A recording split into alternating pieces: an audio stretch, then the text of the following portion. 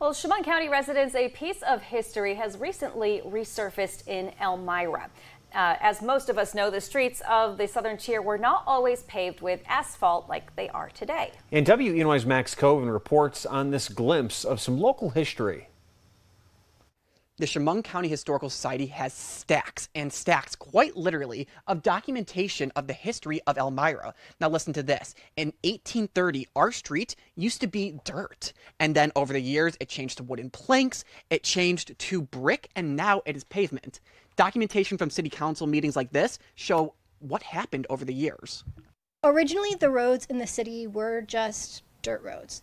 And the problem with that is that every time that it rained, they would turn to mud, and even when they were dry, they would just kick up a lot of dust. During the early to mid 1800s, Elmira's roads were made of wooden planks and dirt. As time and technology progressed, roads evolved to brick. But with brick roads came a problem. So it was great. Uh, but they were expensive to maintain and they were kind of brutal it, when it came to like if you're riding in a carriage, that kind of thing.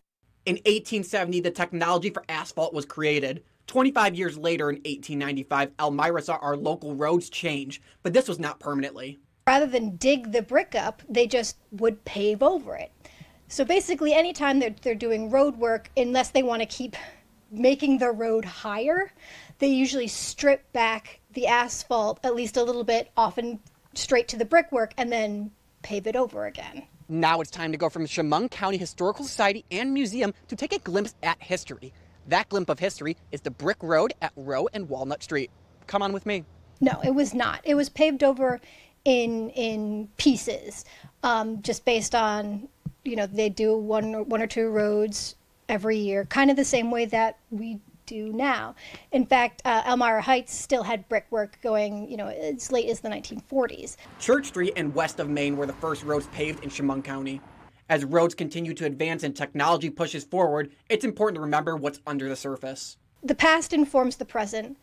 Uh, if you don't know the past, then it's hard to understand why the present is the way it is, and then it's hard to make new decisions without understanding why old decisions were made.